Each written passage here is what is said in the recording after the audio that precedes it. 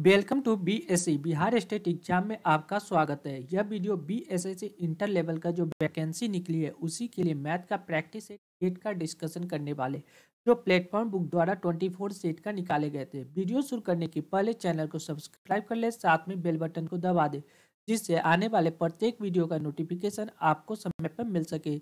चलिए वीडियो की शुरुआत करते आज के इम्पोर्टेंट प्रश्नों के साथ। पहला प्रश्न है तीन सौ को दो समान भागों में विभाजित करना है। तीन सौ को दो समान भागों में विभाजित करें कि बड़े अंश का आधा दूसरी, यानी दूसरे अंश से अड़तालीस कम हो जाएगा। यानी तीन सौ रुपया को दो भाग में विभाजित करना है। एक बड़ा वाला एक्स हो गया। तो दूसरा क्या होगा? वाई होगा। दूसरा वाई कह रहा है कि बड़े अंश का आधा, यानी एक्स का जो आधा करेंगे, आधा दूसरे अंश, यानी वाई से अड़तालीस कम है वाई से अड़तालीस कम है तो वाई कितना हो जाएगा? एक्स वाई टू प्लस अड़तालीस हो जाएगा वाई क्लियर ये हो गया वाई अब क्या कर रहा है? तो वो संख्या ज्ञात करना है, जैसे देखिए, दोनों संख्या का योग कितना है? तीन सौ, यानी एक्स एक्स प्लस वाई बराबर कितना दिया गया है? तीन सौ दिया गया है। एक्स की जगह एक्स ही है, बड़ा वाला संख्या। वाई की जगह हम लिख सकते X Y two plus forty eight बराबर तीन सौ, क्लियर? जब इसको सॉल्व करेंगे तो क्या आ जाएगा टू एक्स बाई टू? दो को एक्स में से एक जो है, थ्री एक्स बाई टू बराबर तीन सौ माइनस अड़तालीस। तीन सौ में से जब अड़तालीस घटाएँगे तो कितना आ जाएगा? दस में से आठ गया दो, ये हो गया नौ नौ में से चार गया पाँच, यानी दो सौ बावन। दो सौ बावन को क्या कीजिए? तीन से डिवाइड कीजिए, यानी एक्स बराबर क्या होगा? दो से मल्टीप्लाई करना नीचे वाला ऊपर चला जाएगा, ऊपर वाला नीचे आ जाएगा। जब तीन से इसको काटेंगे तो कितना बढ़ते आठ थ्री चौबीस बचा एक, तीन चक बारह, यानी एट्टी फोर को जब दो से मल्टीप्लाई करेंगे तो कितना? चार दूना आठ आठ दूना सोलह, यानी बड़ा वाला संख्या कितना आ गया? एक सौ अड़सठ आ गया वन सिक्स एट तो छोटी वाली संख्या क्या होगा? एक सौ अड़सठ का, यहाँ पे पुट कर रहे एक सौ अड़सठ का आधा प्लस फोर्टी एट एक सौ अड़सठ का आधा कितना आ जाए आठ दूना सोलह, चार दूना आठ, यानी चौरासी प्लस अड़तालीस कितना हो गया? आठ दो दस दो बारह के हासिल एक, आठ दो दस दो बारह एक तेरह, एक सौ बत्तीस, यानी वाई कितना आ गया? One three two. यानी करेक्ट आंसर होगा ऑप्शन ऑप्शन बी इस प्रश्न का करेक्ट जवाब हो जाएगा। क्लियर है? आप ऐसे भी चेक कर सकते हैं कि बड़ी वाली संख्या एक सौ अड़सठ का आधा कीजिए, उसमें से अगर क्या कीजिए, फोर्टी एट को ऐड कर देना है, क्या? तो क्या यह एक सौ बत्तीस बन रहा है? चेक कर लीजिए यहाँ से। ये भी आपको करेक्ट आंसर दे देगा। क्लियर है? Next. Twenty eight point five zero रुपया प्रति किलोग्राम ग्यारह किलोग्राम चाय को बाईस रुपये प्रति किलोग्राम के नौ किलोग्राम चाय के साथ मिलाए जाते हैं। मिश्रित चाय का प्रति किलोग्राम औसत मूल्य क्या होगा? कह क्या रहा है? अट्ठाईस पॉइंट फाइव रुपये वाला ग्यारह के जी चाय। ग्यारह किलो चाय का दाम कितना हो जाएगा? ग्यारह से जब इसमें मल्टीप्लाई करेंगे टोटल ग्यारह के जी चाय का प्राइस हो जाएगा कितना? अट्ठाईस पॉइंट फाइव को जब ग्यारह से मल्टीप्लाई करेंगे तो आपको आ जाएगा कितना? तीन सौ तेरह पॉइंट, तीन सौ तेरह पॉइंट कितना? फाइव तीन सौ तेरह पॉइंट फाइव आ जाएगा क्लियर है? और क्या करा बाईस रुपया वाला, बाईस रुपया वाला कितना किलो चाय नौ के जी जब इसको मल्टीप्लाई करेंगे तो कितना आ जाएगा? नौ दूना अठारह के अठासी लेख नौ दूना अठारह के उन्नीस, यानी एक सौ अंठानवे। यानी टोटल प्राइस कितना हो गया? टोटल प्राइस हो गया टोटल इतना के जी हो गया सामान। ग्यारह किलोग्राम यहाँ ले रहे हैं, ग्यारह रुपये कितना के हिसाब से ग्यारह किलो तो ग्यारह किलो का प्राइस इतना हो गया टोटल और नौ किलो ले रहे हैं बाईस रुपये के हिसाब से तो इसका प्राइस इतना हो गया तो टोटल प्राइस कितना हो गया? पॉइंट फाइव आठ दो दस एक ग्यारह के एक हासिल, एक नौ एक दस एक ग्यारह के एक हासिल, एक तीन एक चार एक पाँच पाँच सौ ग्यारह रुपया टोटल प्राइस हो गया। अब क्या कर रहा है कि इसका एवरेज मूल्य कितना होगा? यानी हमने कितना किलो खरीदे? ग्यारह किलो यहाँ पे खरीदे और नौ किलो यहाँ पे तो टोटल कितना किलो खरीदे? बीस किलो। यानी बीस के जी कर दे बीस के जी का प्राइस दिया गया है पाँच सौ ग्यारह पॉइंट फाइव। एवरेज प्राइस कितना हो जाएगा? पाँच सौ ग्यारह पॉइंट फाइव को जब हम बीस से डिवाइड करेंगे तो एवरेज प्राइस प्राप्त हो जाएगा। और यह कितना आ जाएगा? देखिए, दो दूना चार, दो पचे दस ठीक फिर एक बच रहा है, यानी दो पचे दस, दो बचे दस और फिर दो बच रहा है, यानी twenty five point five eight इसका करेक्ट आंसर होगा, क्योंकि नीचे वाला दस ऊपर चला जाएगा, यानी करेक्ट आंसर होगा ऑप्शन बी इस प्रश्न का करेक्ट जवाब होगा। क्लियर इसको डिवाइड करके भी आप लोग आसानी से देख सकते हैं। चलिए नेक्स्ट प्रश्न देखते हैं। ये क्वेश्चन क्या कर रहा है? ए बराबर वन पॉइंट नाइन बी बराबर टू पॉइंट वन तो निम्न में से कौन? A square plus two A B plus B square देखने के साथ ही हम लोग को क्या पता चल रहा है ए प्लस बी का होल स्क्वायर है। ए प्लस बी का होल स्क्वायर क्या होता है? A square plus two A B plus B square, A square plus two A B plus B square. यहाँ ए की जगह हम क्या लिख सकते हैं? ये तो पूछ रहा है, ये फाइंड आउट करना है। ए की जगह यहाँ दिया गया one point nine plus B की जगह कितना दिया? Two point one. जब इन दोनों को ऐड करके स्क्वायर निकालेंगे, कितना हो जाएगा? नौ एक दस के शून्य हासिल, एक दो एक तीन एक चार, यानी चार का स्क्वायर चार का स्क्वायर कितना होता है? सोलह, यानी करेक्ट आंसर हो जाएगा सिक्सटीन यानी ऑप्शन सी इस प्रश्न का करेक्ट जवाब हो जाएगा। क्लियर है? नेक्स्ट नेक्स्ट इंपॉर्टेंट प्रश्न क्या है? क्वेश्चन क्या कह रहा है? इसको आसानी से समझिए। कह रहा है कि x माइनस वाई का पचास परसेंट एक्स प्लस वाई के तीस परसेंट के बराबर है। तब x, y का कितना प्रतिशत है? देखिए, x माइनस वाई का कितना? पचास परसेंट। पचास परसेंट को क्या लिख सकते हैं? वन बाई टू बराबर एक्स प्लस वाई का तीस परसेंट। इतना का तीस परसेंट। तीस परसेंट का फ्रैक्शन वैल्यू कितना? तीन बटा दस। ये देखिए, ये दो से ये दस कट जाएगा पाँच मरते। इससे क्रॉस मल्टीप्लाई होगा तो कितना होगा? Five X minus five Y बराबर three X plus three Y clear है?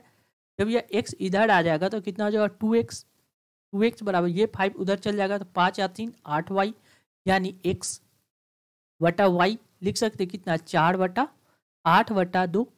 आठ वटा दो, इसको जब काटेंगे, दो चक्का आठ, यानी चार वटा एक, यानी एक्स का वैल्यू कितना हो गया? चार, और वाई का वैल्यू कितना हो गया? एक। एक्स का वैल्यू चार, और वाई का वैल्यू वन अब क्या कर रहा है?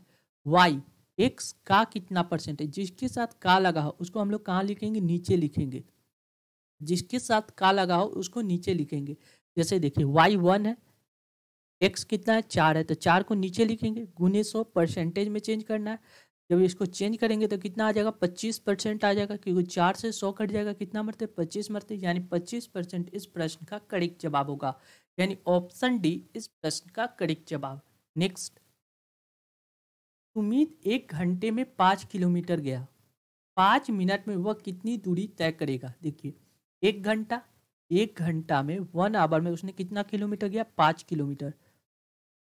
पाँच किलोमीटर। यानी एक घंटा यानी साठ मिनट में लिख सकते पाँच किलोमीटर, यहाँ मीटर में पूछ रहा है, यानी पाँच किलोमीटर को क्या लिख सकते एक किलोमीटर में एक हज़ार मीटर। पाँच गुनी एक हज़ार मीटर। साठ मिनट में वह कितना? पाँच गुनी एक हज़ार मीटर। तो एक मी, एक मिनट में वह कितना जाएगा? यहाँ मिनट है? मिनट है। एक मिनट में पाँच गुनी एक हज़ार डिवाइड बाय सिक्सटी मीटर की दूरी तय करेगा। अब उसको क्या करना है कि वह पाँच मिनट में कितना दूरी तय किया? एक को हमको क्या करना है? पाँच से मल्टीप्लाई करेंगे। पाँच मिनट बराबर पाँच गुने एक हज़ार divide by sixty into five से मल्टीप्लाई किए। ये ज़ीरो से ये ज़ीरो कट गया। पचास पच्चीस पच्चीस पे कितना ज़ीरो? Double zero. इसको कितना? छः से डिवाइड करना पड़ेगा। ये जब डिवाइड करेंगे, कितना मतलब छः चार के चौबीस, एक बच रहा है। छः दूना बारह, नहीं लगेगा, एक लगाएँगे तो कितना मरते हो जाएगा?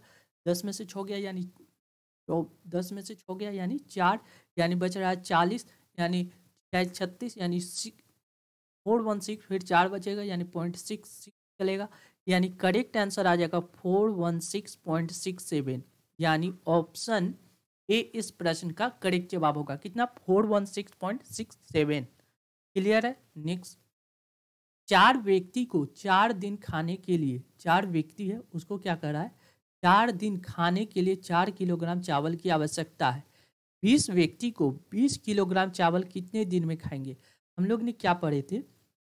व्यक्ति, यानी मैन व्यक्ति, समय टाइम और डे को ऊपर रखेंगे, बाकी जो बचेगा उसको रिस्ट को नीचे रखते व्यक्ति, समय और दिन को ऊपर, बाकी को नीचे। व्यक्ति क्या है? चार व्यक्ति है। ठीक है? गुने सम, चार दिन। है दिन कितना दिया गया? चार दिन दिया गया है। ठीक? और समय कितना दिया है? या नहीं? इस क्वेश्चन में समय की ज़िक्र नहीं। चार व्यक्ति, चार दिन में चार व्यक्ति है और चार दिन। ठीक है? चार से मल्टीप्लाई किए डिवाइड बाय क्या कर रहा है? चार किलोग्राम चावल खाता है। तो चार किलोग्राम चावल खा लेता है। अब क्या कर रहा है? बीस व्यक्ति व्यक्ति की संख्या बीस है। कितना दिन में? दिन की संख्या डे निकालना या डे निकालना और यह क्या कर रहा है? बीस किलोग्राम उसको चावल को खाना है। चार से चार कट गया, बीस से बीस कट गया, यानी डे बराबर कितना आ गया? चार दिन। डे बराबर क्या आ गया? Four day. यानी चार दिन उस व्यक्ति को लगेगा, बीस व्यक्ति को बीस किलोग्राम चावल खाने में कितना दिन लगेगा? तो चार दिन लगेगा। यानी ऑप्शन सी, इस प्रश्न का करेक्ट जवाब हो जाएगा। क्लियर है? नेक्स्ट। पचास व्यक्ति के एक समूह में पैंतीस हिंदी बोलते पैंतीस व्यक्ति हिंदी बोलते पच्चीस व्यक्ति अंग्रेज़ी और हिंदी दोनों बोलते हैं। एवं सभी व्यक्ति कम से कम एक भाषा बोलते हैं। तो कितने व्यक्ति अंग्रेज़ी बोलते इंग्लिश बोलने वाले व्यक्तियों की संख्या निकालना है। ऐसे क्वेश्चन जब भी हो तो वेन डायग्राम का प्रयोग करेंगे। कैसे? एक फिगर हो गया। ये दो हो गया, ठीक? इसमें देखिए, एक व्यक्ति क्या कर रहा है? हिंदी बोलता है। ये जो है, हिंदी बोलने वाला है। और ये जो है, इंग्लिश बोलने वाला है। क्लियर? और ये जो दिया गया है इसमें जो होगा, वो दोनों बोलेगा, हिंदी और इंग्लिश दोनों बोलेगा। हिंदी प्लस इंग्लिश दोनों बोलेंगे, क्लियर? अब क्वेश्चन में क्या करा, यह देखिए। पचास व्यक्ति के एक समूह में पैंतीस व्यक्ति हिंदी बोलते हैं, ठीक है? पच्चीस व्यक्ति अंग्रेज़ी एवं हिंदी दोनों बोलते हैं। यहाँ जो दोनों बोलने वाला पच्चीस है अब क्या कर रहा है? पैंतीस व्यक्ति हिंदी बोलता है। हिंदी तो यहाँ पच्चीस तो बोल ही रहा है। और कितना जोड़ेंगे कि वह पैंतीस बन जाए? इसमें जोड़ना होगा दस व्यक्ति और एक्स्ट्रा आएगा। तो वो क्या हो जाएगा? पैंतीस व्यक्ति हिंदी बोलेगा। हिंदी बोलने वाले हो गए। अब क्या कर रहा है? टोटल पचास व्यक्ति है। तो यहाँ कितना हो गया? पच्चीस और दस पैंतीस हो गया। बचा कितना? पैंतीस में दस, पैंतीस पैंतालीस दस पचास। टोटल कितना हो गया? इंग्लिश बोलने वाले। अब क्या कर रहा है? तो पंद्रह व्यक्ति हो गया। सिर्फ़ इंग्लिश बोलेंगे। यहाँ दस व्यक्ति सिर्फ़ हिंदी बोलेंगे, अब पच्चीस व्यक्ति क्या इंग्लिश और हिंदी दोनों बोलेंगे? अब क्या पूछ रहा है तो कितने व्यक्ति अंग्रेज़ी बोलेंगे? यानी सिर्फ़ नहीं करा, अंग्रेज़ी बोलने वाली संख्या कितना होगा? पच्चीस तो दोनों बोलता है तो पच्चीस को बोलेगा ही। सिर्फ़ अंग्रेज़ी बोलने वाला पंद्रह है तो पंद्रह इसमें ऐड कर देंगे। कितना हो जाएगा? चालीस हो जाएगा, यानी करेक्ट जवाब होगा। ऑप्शन बी, इस प्रश्न का करेक्ट जवाब होगा। कितना? चालीस व्यक्ति ऐसे होंगे जो से जो अंग्रेज़ी बोलेंगे। क्लियर है? नेक्स्ट। निम्नलिखित में से कौन वाई अक्ष पर स्थित है? वाई एक्सिस पे कौन सा संख्या स्थित है? जैसे देखिए। इसको कहते X axis positive X axis ठीक? इस साइड होता है negative X axis X axis ठीक? ऊपर में जाइएगा तो वाई एक्सिस होता है वाई एक्सिस ठीक? और ये पॉजिटिव वाई एक्सिस होता है। जब नीचे आइएगा, क्या होगा? Negative Y axis Y axis क्या होगा? निगेटिव होगा क्लियर अब क्वेश्चन क्या कर रहा है देखिए। निम्न में से कौन सा बिंदु वाई अक्ष पर स्थित है? जब कोई बिंदु वाई एक्सिस पर स्थित है, मान लीजिए तो वह बिंदु यहाँ पे है।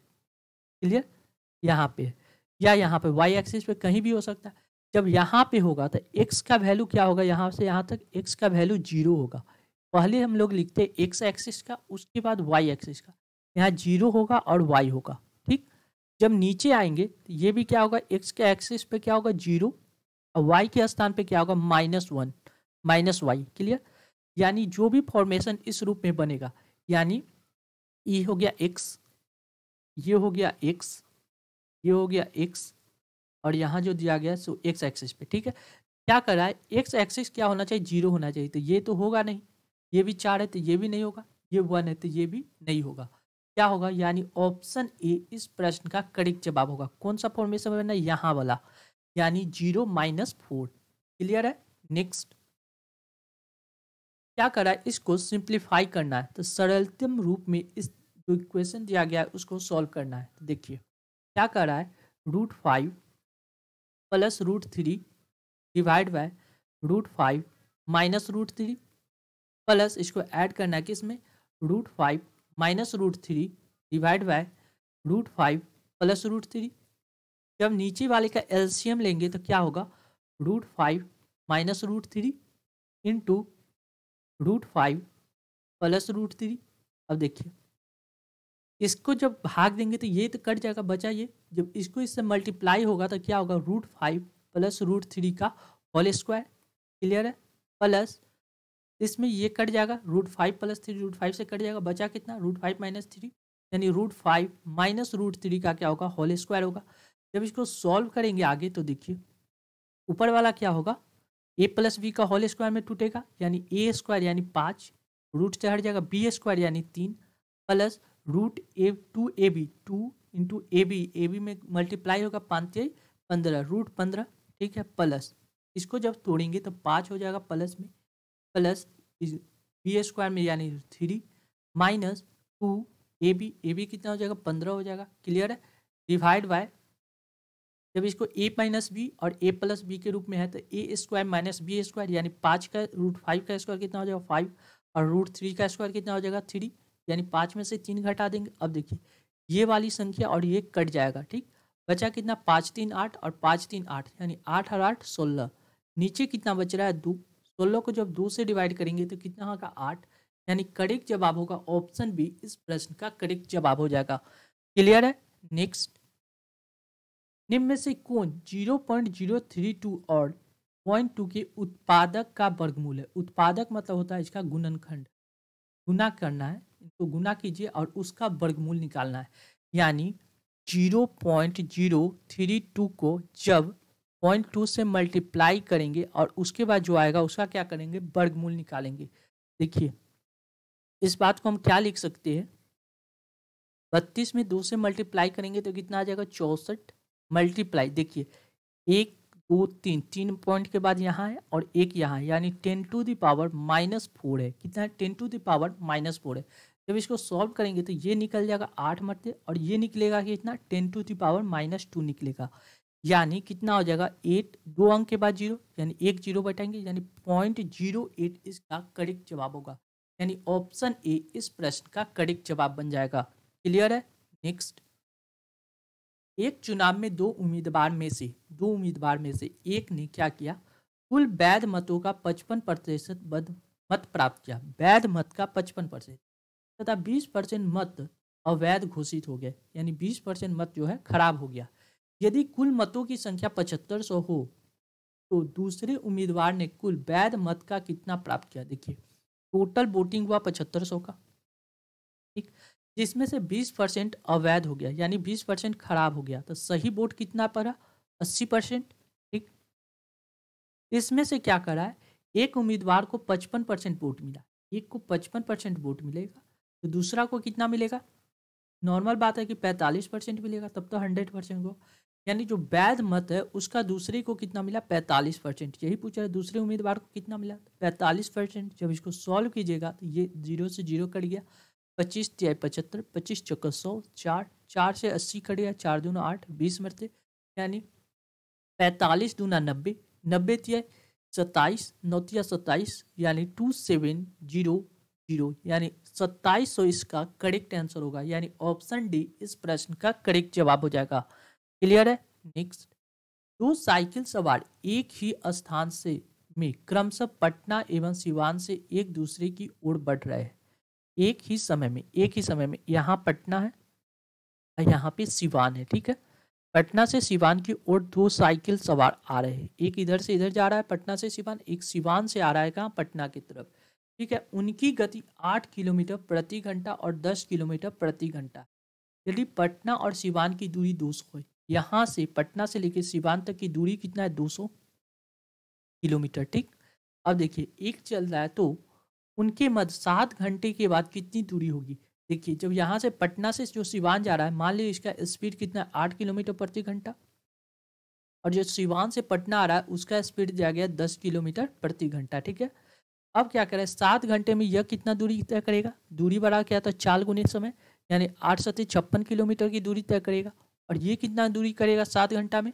सत्तर किलोमीटर, यानी टोटल कितना डिस्टेंस तय कर लिया? छप्पन प्लस सत्तर छः सात, तीन, दस, बारह, यानी एक सौ छब्बीस किलोमीटर इन दोनों ने तय कर लिया। यानी टोटल डिस्टेंस कितना था? 200 किलोमीटर की दूरी से, में से 126 किलोमीटर दूरी तय कर लिया। तो बचा कितना दूरी? बचा कितना दूरी? यानी 200 माइनस 126 किलोमीटर की दूरी तय कर लिया था। एक सौ छब्बीस को दो सौ में से घटा देंगे। तो बचा कितना? दस में से छः गया चार, ये हो गया नौ नौ में से दो गया सात सात गया आठ नौ, यानी सेवेंटी फोर किलोमीटर की दूरी बच गया उन दोनों के बीच। यानी ऑप्शन सी इस प्रश्न का करेक्ट जवाब होगा। क्लियर है? नेक्स्ट एक व्यक्ति ने एक वस्तु उसके मूल से दस परसेंट कम में खरीदा। यानी मूल्य मान लीजिए सौ रुपया है। उसने उसको कितना में खरीदा? नब्बे रुपया में खरीदा, दस परसेंट कम। नहीं ना, करा है? दस परसेंट कम में खरीदा। ठीक है? तथा उसके मूल से उसने दस परसेंट अधिक में बेच दिया। सौ रुपया उसका मूल्य था और उसने बेचा कितना? एक सौ दस रुपया में, यानी दस परसेंट प्रॉफिट के साथ बेच दिया। अब क्या करा? उस व्यक्ति को क्या हुआ? नब्बे रुपया में उसने खरीदा और बेच दिया एक सौ दस रुपया में। तो उसको कितना का प्रॉफिट हो गया? बीस रुपया का प्रॉफिट हो गया। कितना में? बीस का प्रॉफिट हुआ कितना में? नब्बे में। उन्नीस सौ काट दिए। यानी दो सौ बटा नौ, यानी जब इसको सॉल्व कीजिएगा तो नौ दूना अठारह उन्नीस एक बीस दो, ज़ीरो, नौ दूना अठारह। उन्नीस एक बीस दो, यानी पॉइंट ज़ीरो यानी twenty two point two two आते रहेगा। यानी बाईस परसेंट का उसको प्रॉफिट हुआ। यानी ऑप्शन में क्या दिया गया? बीस परसेंट से जगह अधिक लाभ हुआ। यह बात सही है। बीस परसेंट से, बीस परसेंट लाभ होगा। यह बात गलत है। बीस परसेंट से अधिक हो रहा है, क्योंकि बाईस परसेंट हो रहा है। न लाभ हुआ, न हानि, ये भी गलत। बीस परसेंट से कम लाभ होगा, ये भी गलत। यानी ऑप्शन ए इस प्रश्न का करेक्ट जवाब होगा। क्या बीस परसेंट से अधिक का उसको क्या हुआ? प्रॉफिट हुआ। नेक्स्ट छत्तीस संतरे बेचने पर एक फल वाले को चार संतरे के विक्रय मूल्य के बराबर हानि होती है। क्या किया उसने? बेचा कितना? बेचा कितना? छत्तीस संतरा बेचता है। यानी छत्तीस संतरी का विक्रय मूल्य हानि कितना हो रहा है उसको? चार संतरी का हानि के बराबर होता है। चार संतरी के विक्रय मूल्य के बराबर उसको हानि होता है, ठीक? तो उसका क्रय मूल्य क्रय कितना में खरीदा था छत्तीस संतरी को चार रुपया का हानि, यानी चार जोड़ देंगे, उसने खरीदा चालीस रुपया में छत्तीस संतरा को खरीदा और उसको क्या कर रहा है कि छत्तीस संतरी को उसने चालीस रुपया में खरीदा, लेकिन उसको क्या हो रहा है? चार रुपया का इसमें हानि हो रहा है। जब बेच रहा है तो चार रुपया का हानि हो रहा है। तो हानि परसेंट निकालना है। क्या निकालना हानि परसेंट तो हानि उन्हें सौ बटा हानि परसेंट किस पे निकलता है? क्रैमोल पे निकलता है, बटा चालीस। जब इसको काटेंगे, चार से चार कटेगा यानी दस यानी दस परसेंट का उसको क्या हो रहा है? हानि हो रहा है। यानी ऑप्शन सी इस प्रश्न का करेक्ट जवाब होगा कितना दस परसेंट का हानि। क्लियर है? नेक्स्ट। एक नौका छत्तीस किलोमीटर धारा के दिशा में तीन घंटे में जाता है। वापस उसे छः घंटे लगते हैं। आने में छः घंटा तो स्थिर जल में नाव की गति ज्ञात कीजिए। मान लीजिए नाव का गति एक से क्या है? नाव की चाल एक से और धारा का वाई ठीक है? धारा का वाई अब क्या करा है? नाव 36 किलोमीटर धारा की दिशा में तीन घंटे में जाता है। देखिए। समय बराबर क्या होता है? दूरी बटा चाल। दूरी कितना है? समय बराबर क्या होता है? Distance upon time. समय बराबर क्या होता है? टाइम बराबर क्या होता है? डिस्टेंस अपॉन स्पीड टी बराबर क्या होता है? डी अपॉन स्पीड डिस्टेंस क्या है? छत्तीस किलोमीटर की दूरी। जब जाएगा स्पीड क्या धारा की जब दिशा में जाएगा तो दोनों का स्पीड क्या होगा? ऐड होगा। दोनों का स्पीड ऐड ऐड होगा। यानी एक्स प्लस वाई यह समय कितना ले रहा है? तीन घंटा ले रहा है। जब इसको सॉल्व कीजिएगा तो देखिए। तीन से छत्तीस कट जाएगा। एक, तीन दुना छो बारह मरते यानी एक्स प्लस वाई बराबर कितना आ जाएगा? बारह। ठीक है? दोनों का स्पीड कितना? बारह किलोमीटर प्रति घंटा हो जाएगा। आगे क्या कह रहा है? वापस जब आएगा तो धारा के विपरीत दिशा में वापस आएगा। यानी छत्तीस किलोमीटर ही जा रहा आ रहा है। लेकिन स्पीड इसमें क्या होगा? वापस जब अपोजिट डायरेक्शन धारा के अपोजिट डायरेक्शन में जाएँगे तो धारा, नाव की चाल में से धारा की चाल को घटाते हैं। जब इसको करेंगे तो इसको कितना लग रहा है? छः घंटा लग रहा है। यानी जब इसे काटेंगे छः छत्तीस, यानी एक्स माइनस वाई बराबर कितना हो जाएगा? छः घंटा। ठीक छः किलोमीटर प्रति घंटा और एक्स प्लस वाई हो गया बारह किलोमीटर प्रति घंटा। जब दोनों इक्वेशन इक्वेशन वन हो गया और इक्वेशन टू हो गया। जब दोनों को सॉल्व करेंगे इक्वेशन वन और इक्वेशन टू को तो देखिए एक्स प्लस वाई बराबर बारह।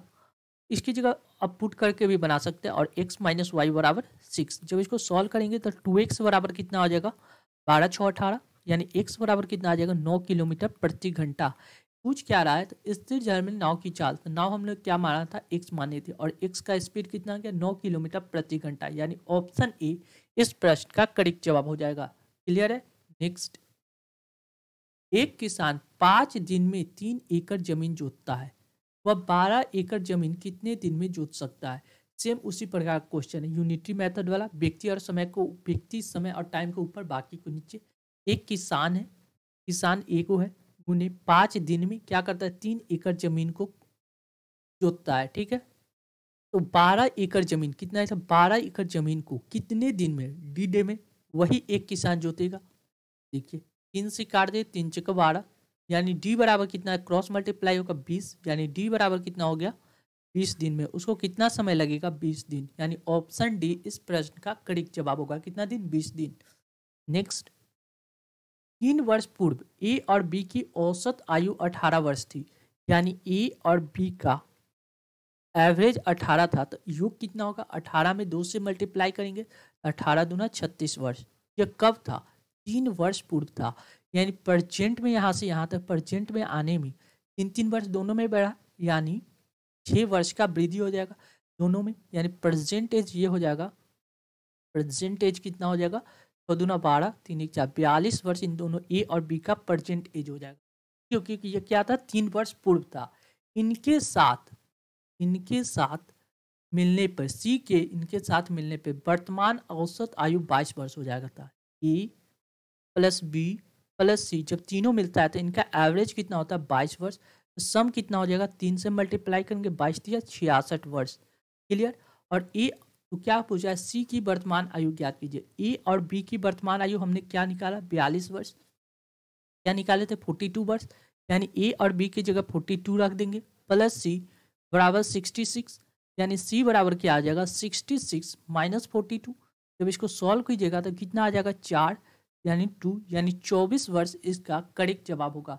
यानी ऑप्शन डी इस प्रश्न का करेक्ट जवाब। कितना? चौबीस वर्ष। क्लियर है? नेक्स्ट। नेक्स्ट क्वेश्चन क्या है? चित्र y का मान ज्ञात कीजिए। जो दिया गया इसमें y का वैल्यू ज्ञात करना है, देखिए। क्या दिया गया, इसको समझिए। ठीक है? अब देखिए क्वेश्चन में क्या कर रहा है? ये दिया गया ट्वेंटी टू वाई देखिए, जब ये कोण कोई भी तिरक छेदी रेखा तो ये कोण और ये कोण आपस में बराबर होगी। तो ये कितना होगा? टू वाई हो जाएगा। ठीक? अब देखिए ये दिया गया है फाइव वाई कितना दिया गया है? फाइव वाई ठीक? तो ये कोण और ये वाला आपस में बराबर होगा। तो ये कितना होगा? फाइव वाई ठीक है? ये कितना दिया गया? फाइव वाई कितना दिया गया? फाइव वाई ठीक? ये कोण और ये कोण आपस में बराबर होगा। क्या होगा? फाइव वाई क्लियर है? अब देखिए। अब एक स्ट्रेट लाइन पे कितना डिग्री का एंगल बनता है? ये देखिए। एक स्ट्रेट लाइन पे कितना डिग्री का एंगल बनता है? एक सौ अस्सी डिग्री का एंगल बनता है। एक स्ट्रेट लाइन पे कितना का एंगल बनता है? एक सौ अस्सी डिग्री का। कितना? एक सौ अस्सी डिग्री का। यानी इस स्ट्रेट लाइन पे क्या क्या चीज़ आ रहा है? ये आ रहा है, फाइव वाई आ रहा है, ये वाला फाइव वाई आ रहा है और ये टू वाई आ रहा है, ठीक है? जब इसको ऐड करेंगे, five y plus five y plus two y बराबर लिख सकते एक सौ अस्सी डिग्री, ठीक? जब इसको ऐड करेंगे तो क्या पाँच पाँच दस दो बारह बारह वाई बराबर कितना हो गया? एक सौ अस्सी डिग्री। जब इसको सॉल्व करेंगे, छः दूना बारह छत्तीस अठारह, तीन, दो से कट जाएगा, दो पंद्रह दूना तीस, यानी वाई बराबर कितना आ गया पंद्रह डिग्री। कितना? पंद्रह डिग्री, यानी करेक्ट आंसर होगा ऑप्शन सी इस प्रश्न का करेक्ट जवाब हो जाएगा। कितना? पंद्रह डिग्री, इस प्रश्न का करेक्ट जवाब हो जाएगा। क्लियर है? नेक्स्ट एक सम बहुभुज में, जिसमें प्रत्येक कोण की माप 108 डिग्री है, कितनी भुजा रह सकती है? जब भी सम बहुभुज का बात आए। सम बहुभुज सम बहुभुज का जब भी बात है तो इसमें दो फॉर्मूला आपको याद रखना है। ज़्यादा इंपॉर्टेंट एक होता आन आंतरिक आंतरिक आंतरिक कोण एक होता है बाय कोण आंतरिक कोण एक होता है बाय कोण आंतरिक कोण का योग प्रति आंतरिक कोण का योग होता है एन माइनस टू इंटू एक सौ अस्सी डिग्री आंतरिक कोण का योग होता है एन माइनस टू इंटू एक सौ अस्सी डिग्री और ये बाह्य कोण पूछा जाए तो यह होता है तीन सौ साठ डिग्री क्या होता है? सम होता है। आंतरिक कोण का योग होता है। योग का फॉर्मूला होता है एन माइनस टू इंटू एक सौ अस्सी डिग्री। यही पूछा, प्रत्येक आंतरिक कोण, यानी प्रत्येक लग जाए, प्रत्येक, यानी सिंगल सिंगल निकालना हो इसी में से N minus two into एक सौ अस्सी में क्या करना है? एन से डिवाइड कर देंगे। प्रत्येक आंतरिक को यहाँ प्रत्येक वाई को निकालना है तो तीन सौ साठ वाई एन कर देंगे। क्लियर अब क्या कर है?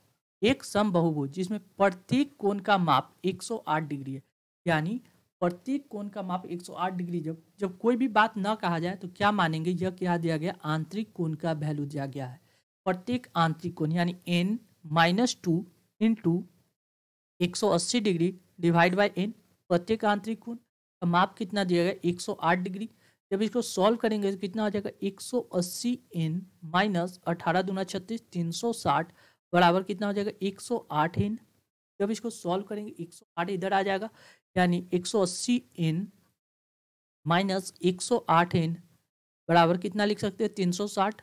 जब इसको सॉल्व में दस में से आठ गया दो, ये हो गया सात, यानी सेवेंटी टू एन बराबर हो गया तीन सौ साठ।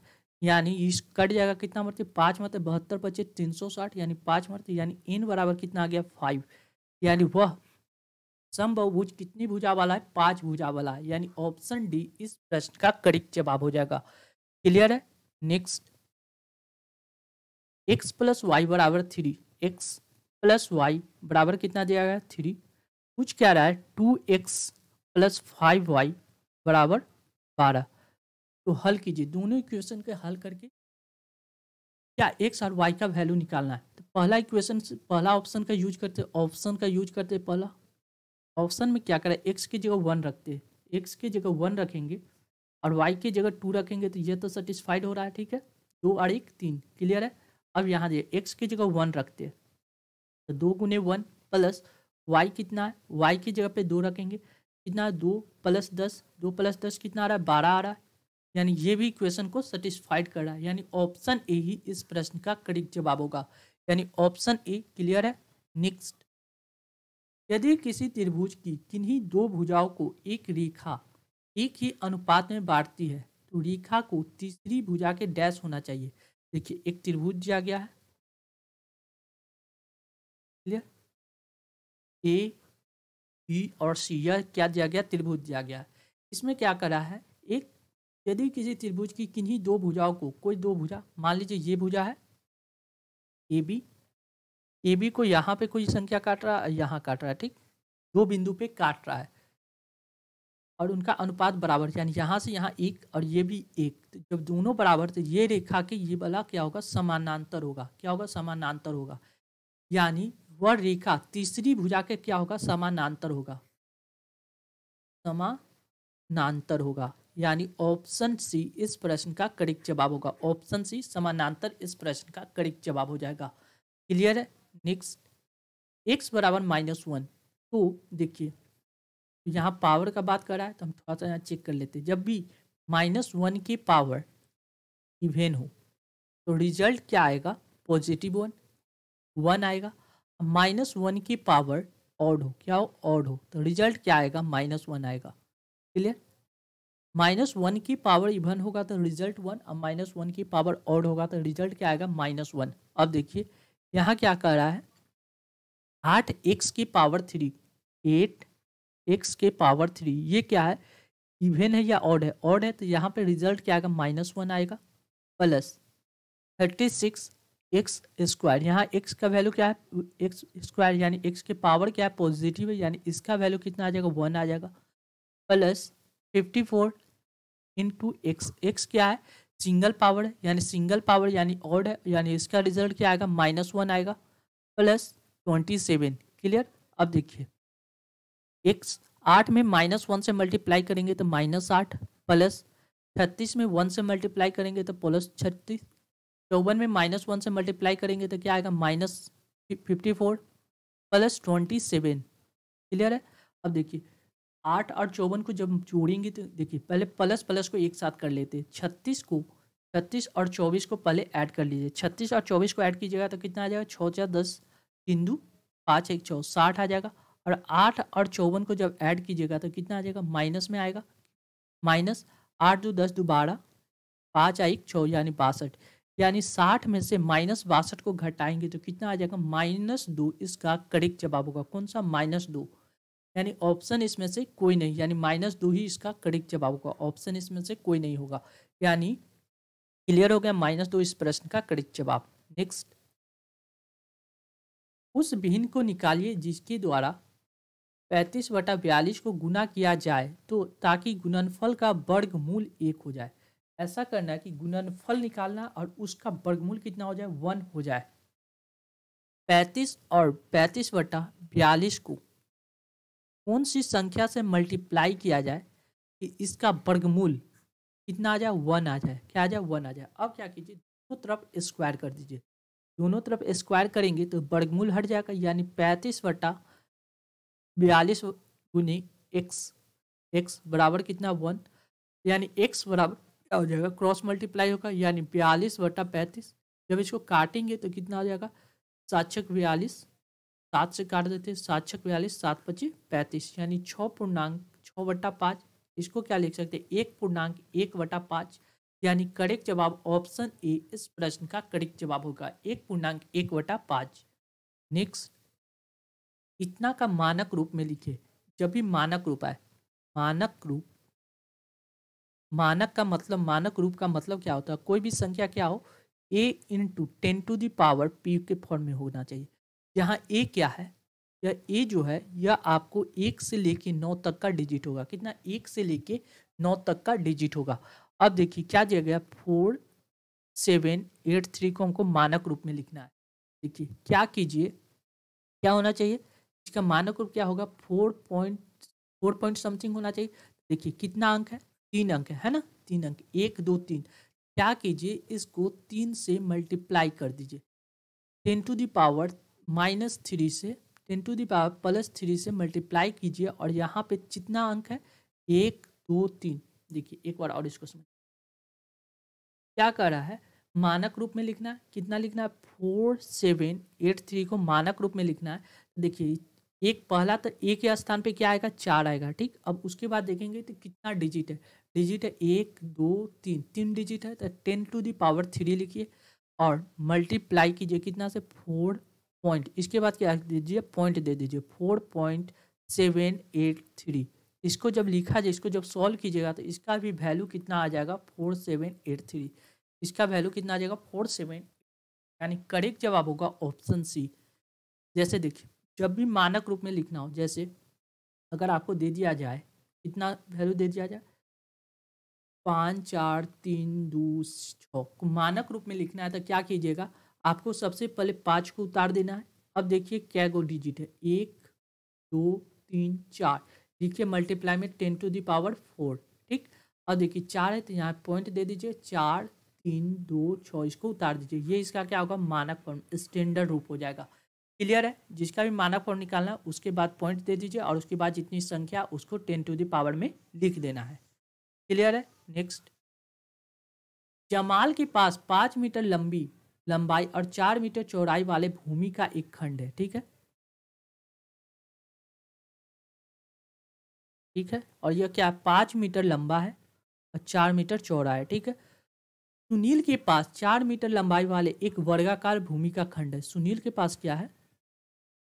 यह जो वर्गाकार भूमि खंड है, यह चार चार मीटर का वर्गाकार है, ठीक तो उनके क्षेत्रफल का में क्या अंतर होगा? यह क्या है? आयत है।